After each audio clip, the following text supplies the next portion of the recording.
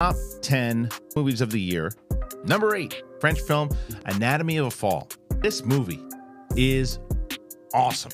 And it's so many different genres between drama, courtroom thriller, thriller, performances. I felt like I was in these people's lives. I didn't feel like it was a movie. I felt like it was I was this was a real courtroom drama. I felt these performances were so authentic that sometimes you get so hyped up for a film and there's so much praise for it that it doesn't always deliver. This was a lot of hype behind it and I went it delivered and then some.